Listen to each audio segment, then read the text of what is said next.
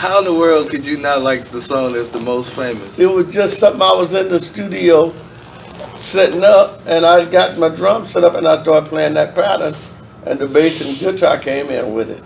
When he was sitting up there practicing after he had set up, he was not trying to play anything that come to a tune.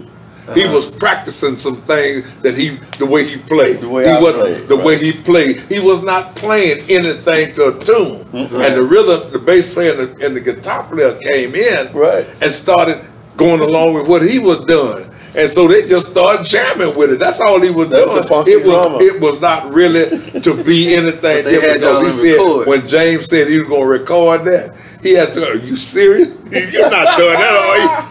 Oh man, don't do that to me. Oh, because he didn't think that he had played anything with his with his talent. I put Right, it that right. way. Yeah. Okay.